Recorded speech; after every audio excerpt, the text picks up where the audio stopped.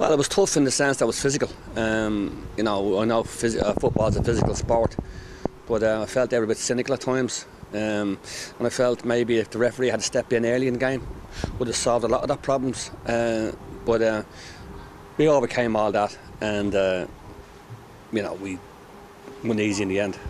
So we had four goals. It could have been a couple more. Uh, they never really troubled Chris Bennion, in, in goal either. No, I don't think they had a corner in the whole game. You know, even playing with the wind.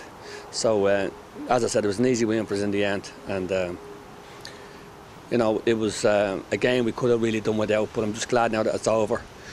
We won, we're in a final, and we came out with kind of injury free.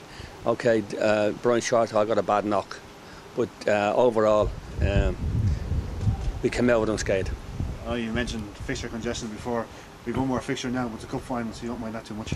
No, it's another cup final for us. We got to we got one last year, and we played Bohs. Now it's it's um it's a repeat of that game again in the next in the in the in the next final. So we'll just uh, get over that, and uh, we'll uh, we'll uh, deal with it when it comes. We've a lot of games probably in the meantime. So the most important one now is the next one, and that's Bray.